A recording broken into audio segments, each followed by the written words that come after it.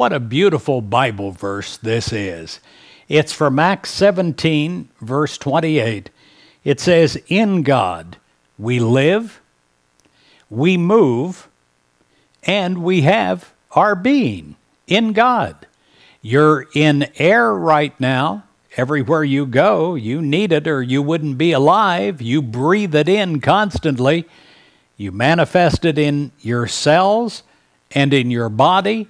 Well, you are just as much in God. Wherever you go, wherever you find yourself, you are in God, immersed in God. The healing, the harmonizing presence of God. It is in you and in all conditions and in every situation of your life.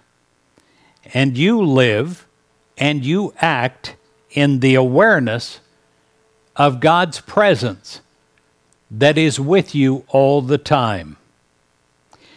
In prayer, you permit yourself, permit yourself to feel again and experience at a higher level of experience the presence of God with a full awareness.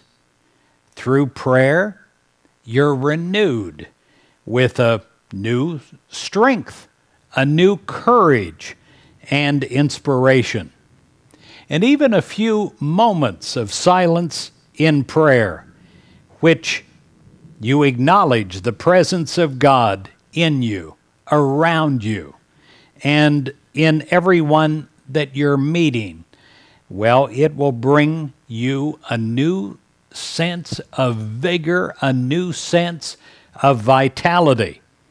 You are empowered to actively overcome any obstacle that you're dealing with in situations of your life.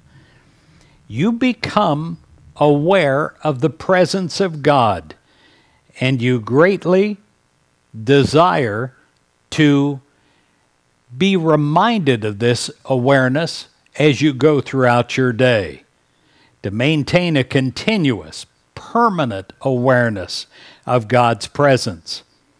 You know through the truth of your relationship with God as you practice the presence of God as a moment by moment way of life. You will live and you'll act in an awareness of God's presence in you. You will feel truly at one with God.